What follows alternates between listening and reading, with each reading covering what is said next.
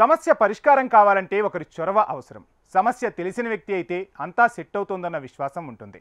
ఆంధ్రప్రదేశ్ రాజకీయాల్లో ఇప్పుడు సమస్య రెండు పార్టీల మధ్య వైరాన్ని పెంచుతుంది. ఆ గొడవలకు పులిస్టాప్ పెట్టాలని సూచించారు నేత. రెండు పార్టీల మధ్య గొడవ ఏ విషయమై ఉంటుంది? రాజకీయాల్లో సైలెంట్గా ఉండే ఆ నేత ఎందుకు చురకలంటించారు? రెండు పార్టీల గొడవల మధ్య పెద్దరాయుడు పాత్ర పోషించారా? ఆంధ్రప్రదేశ్ రాజకీయాలు వారం రోజులుగా షర్మిలా జగన్ ఆస్తి వ్యవహారం చుట్టూనే తిరుగుతున్నాయి. ఐదేళ్ళ క్రితం రాసుకున్న ఎంఓయూ బహిర్గతం కావటం షర్మిలపై జగన్ కోర్టుకు వెళ్ళాడంటూ వార్తలు రావడంతో తారాస్థాయికి చేరుకున్నాయి. వైవి సుబ్బారెడ్డి మాట్లాడటం ఇట్నుంచి షర్మిల కౌంటర్ ఇస్తూనే కంటతడి పెట్టుకోవటం ఆ మరుసటి రోజు విజయసాయి ప్రస్తావించడంతో ఇంటి పంచాయతీ కాస్త పార్టీల మధ్య గొడవగా మారింది. అటు వైసీపీ ఇటు ఏపీ కాంగ్రెస్ నాయకులు సోషల్ మీడియా వేదికగా ఒకరిపై ఒకరు దుమ్మెత్తి పోసుకుంటున్నారు. ఈ ఆస్తి పంచాయతీ తెంచేందుకు ఓ సైలెంట్ నేత ఇప్పుడు రంగంలోకి దిగారు. బాలినేని శ్రీనివాసరెడ్డి ఎప్పుడూ సైలెంట్గా ఉండే నేత. సహజంగానే మీడియా ముందు చాలా తక్కువ మాట్లాడుతుంటారు. తనకు తానే స్వయంగా మీడియా ముందుకొచ్చి వైఎస్ఆర్ కుటుంబంలో జరుగుతున్న ఆస్తుల గొడవల గురించి చాలా విషయాలు మాట్లాడారు.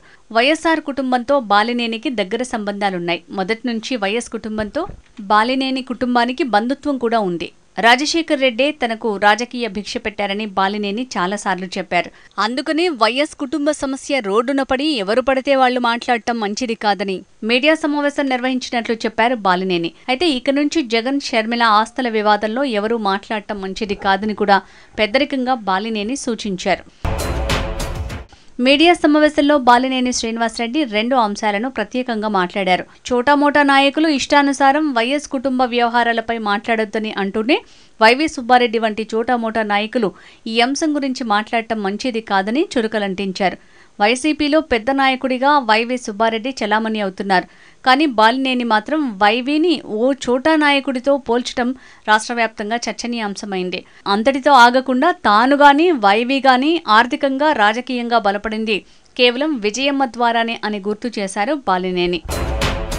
వైఎస్ రాజశేఖర రెడ్డి కుటుంబంలో జరుగుతున్న ఆస్తుల విషయంలో బయట వ్యక్తులు మాట్లాడటం కంటే విజయమ్మే జడ్జి పాత్ర పోషించాలన్నారు బాలినేని. వైఎస్ బతికున్న సమయంలో ఆస్తుల విషయంలో ఏం చెప్పారో ఏం మాట్లాడుకున్నారు అనే విషయాలు విజయమ్మకు మాత్రమే తెలుసని చెప్పారు.